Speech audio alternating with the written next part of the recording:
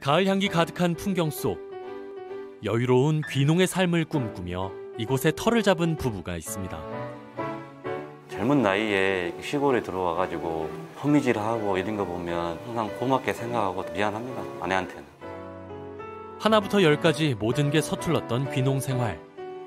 서로가 서로의 버팀목이 돼준 부부. 농촌에서의 삶이 만만치는 않았습니다. 저한테 너무 편한 존재고 의지할 만한 존재라고 믿음이 확실히 가기 때문에 신랑이 없으면 아무것도 아니다.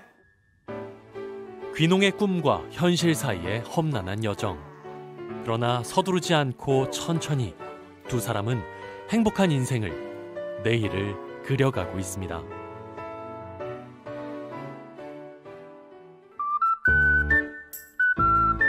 푸른 바다를 품고 있는 반월 마을.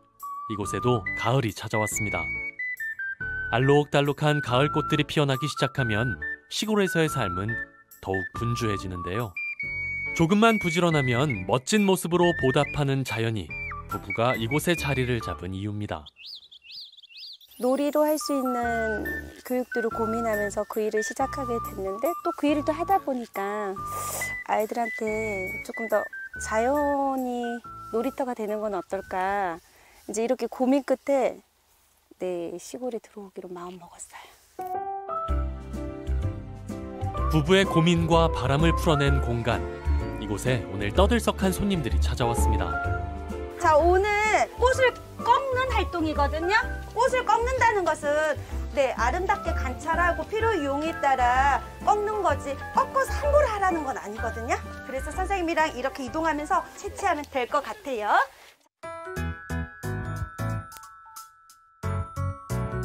자연이 주는 혜택을 사람들과 함께 나누기 위해 부부가 선택한 건 치유농장입니다. 농촌의 환경과 자원을 이용해 누구나 자연의 소중함을 배우며 심리적 치유를 받을 수 있도록 돕는 거죠. 모든 교육의 근본은 자연이기 때문에 자연의 교육장이 되는 게 제가 추구하는 하나의 저희 사업의 어, 솔루건이라고 할 수 있을 것 같아요. 꽃이라는 걸 꺾으면 우리는 어렸을 땐 나쁜 거야. 이렇게 생각하는데 사실 꽃을 활용을 잘하면 기쁨을 주고 행복을 주는 매체라서 저는 아이들하고 이렇게 꽃 가지고 채취해보고 또 작품을 만드는 건 저뿐만 아니라 아이들도 되게 행복해하는 것 같고 좋아요. 농장에서 직접 채취한 꽃을 가지고 예쁜 작품을 만들어 볼 건데요. 색다른 체험에 아이들의 눈동자가 기대로 반짝입니다.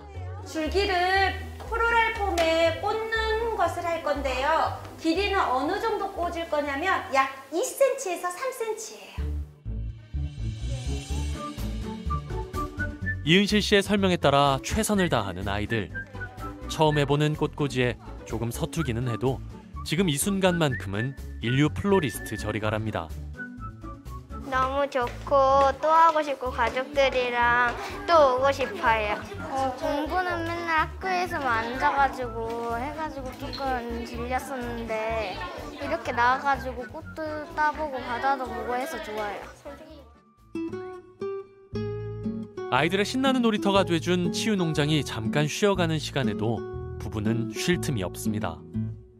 아이들 표정이나 활동 진행하는 거 보면서 좋았던 점, 돌발 상황들이나 걱정했던 부분이나 이런 것들 있으면 뭐 들어올 때하고 갈 때하고는 애들 얼굴이 많이 밝아지긴 밝아진 것 같은데 여러 가지 해보니까 더 꽂으려고도 하고 음, 그래서 그런가 음. 애들이 보니까 다 밝아서 좋았던 것 같은데 음.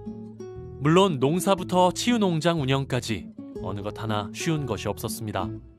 그럼에도 이 부부를 불러들인 건 무엇이었을까요? 후회할 때도 있죠. 사실 꿈꾸고 시작할 때는 힘든 것보다 좋은 것들을 생각하고 시작하잖아요. 근데 하다 보면 이렇게 행복한 게 놀고 간 사람들의 에너지가 저를 어, 어 잘했다 선택, 일 재밌다, 일 계속 해야지 이런 에너지를 주고 가니까요. 뭐 후회하진 않아요. 너무 재밌어요. 시간이 지나고 그러면 언젠가는 더 우리 더 나은 삶을 살 수 있는 그런 기회를 생각하기 때문에 좀 더 우리가 참고 서로 의견을 더 조율해서 서로 이렇게 의견 다툼하지 않고 우리가 생각했던 방향으로 쭉 갔으면 좋겠다는 말과 함께 어, 미안하면서 이렇게 사랑한다는 말을 꼭 전하고 싶습니다. 부부의 사랑만큼이나 치유 농장엔 일이 가득한데요. 승모 왔어? 그 우리 예전에 그 클로버 심어놓은 게 난데도 있고 그렇 나고 있더라고 승모. 그쪽 주변 조금 더 살펴보는 걸로 하세요. 응. 농사일은 아직 도움을 받아야 하는 초보지만 마음씨만큼은 동네 어르신들이 인정하는 고수입니다. 우리 저 사람 동네 일도 다 잘하고 다른 사람은 또 동네 할매들 다 생각하고 뭐 해갖고 있으면 먹을 거 있으면 다 내서 날라주고 그래. 그렇게 좋은 사람들 없어. 저런 사람들이 이 동네에서 그렇게 한 사람들이 그렇게 봉사한 사람들이 없어. 농사일은 하면 할수록 배울 것이 천지입니다. 동네 어르신들은 이럴 때 좋은 조언자가 돼주시죠. 이거를 이렇게 이렇게 솎아줘야지. 응. 안 솎아주면 이거 이렇게 하고 땡이 나더라. 아, 너무 늦은 거 아닌가 승모 이거? 이 정도면 이 정도면 적당한가? 지금 완전히 고기 싸 먹으려면 부드럽고 맛있겠구만 지금이. 그렇게 맛있겠네. 아 여기 할머니 안 계시면 저 이거 텃밭 사실 관리하는 부분이나 이거 아예 안 돼요. 사실 교육도 가야 되고 안에서 수업하는 것도 있고 이제 하- 해야 되는 것들이 너무 많은데 사실 저희 숙모가 이런 일을 함께 동참해 주지 않으면 감히 이렇게 해낼 수가 없어요. 저희가 그 약간 동사의 마음으로 이렇게 서로 협력을 하다 보니 서로 이제 마을 주민들과 또 가족 간의 관계도 지금은 다 원활하게 어, 소통이 돼서 지금은 아주 행복한 어, 귀농의 시간을 좀씩은 저희가 여유를 부려보고 있는 것 같아요.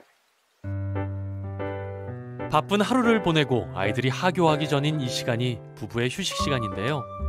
그런데 이 꿀 같은 시간에도 부부 대화의 대부분은 치유 농장에 대한 이야기입니다. 군데군데 사과대추나 열매 있는 것들을 좀 석류나 어, 그저께 여기 권사님네 석류 엄청나게 예쁘게 열렸던데 근데 약을 안 하면 진딧물 때문에 권사님 약 안 한 것 같은데 할 거야 한 번씩 다.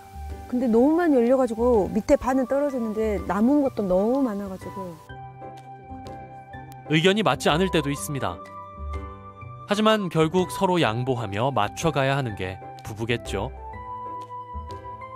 우리만 느낄 수 있는 게 아니고 모두가 느낄 수 있는 자연의 이런 공간을 만드는 게